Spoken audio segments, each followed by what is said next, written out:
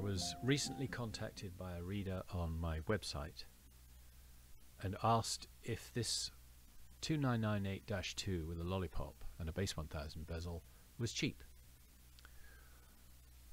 Well, let's have a look.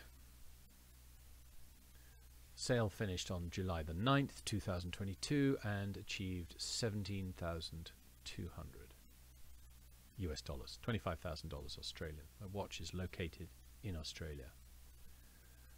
Couple of things. Uh, the seller appears to be a private seller.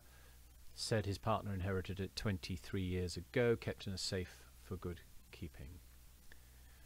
Since her father's passing, we never serviced the watch. So the watch has not been serviced for 23 years, has only come out in a handful of occasions. Good. Let's see if what we have bears out his description. Absolutely not. Here is a counterfeit base 1000 bezel. These were made about five years ago for the first time. And uh, so this has been fitted since they inherited the watch 23 years ago because there were no counterfeit base 1000 bezels 23 years ago. The carrier ring is completely flawless. The paint is uh, very black and the fonts, when you look at them closely, uh, they do not match the original Omega supplied bezel. So, liar. And next is this long indices on the subdial. If we compare an original 2998 and I'll move it over on that side so we can see these indices here are short and these indices here are long. You can also see straight away that the uh, fonts are quite different and there's marks on this bezel and also a ding in the side. Um, uh, the, it, the the newness of this bezel is not the confirmation that it's fake. The fonts are the confirmation. The alerts are the newness and the carrier ring and the paint, but the confirmation comes from the fonts. The dial must be from a later watch or a service dial. The hands, we always look at the hands, are they flat, are they curved? can't really tell in this photograph but you know we're already so far down the road of service parts one would probably assume that there's a chance that these are service this lollipop it is seen on 2998-2s but I'm pretty convinced that there is an Australian distributor of remade lollipop hands so it is possible that this watch was fixed up in Australia like that so uh, we have polished lugs, uh, service pushers, service crown. Let's go on and see what else we've got. Oh my goodness. So this is a jeweler's finish on the side. It's not an Omega finish. Uh, blurred lines on the top. Blurred case and everything. Badly fitted end link. I don't blame anybody for this particularly. it's very difficult to get the Omega finish. Uh, and it probably it might look better than it was before, but it's still been done. Here we got the same finish.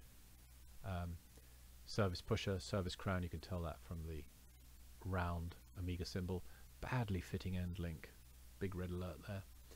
And look at that. All that sort of nibbling case cancer dirt. You know, that's not dirt, that's, uh, that's corrosion. Thank you very much. Now we have confirmation that uh, the bezel is counterfeit or 160. So uh, first part of 1960 that bracelet was made, fits with the extract. Uh, another confirmation of the counterfeit bezel. On the back here we see that this number 6 on the end link is um, unusual enough to make me want to check the end link for correctness.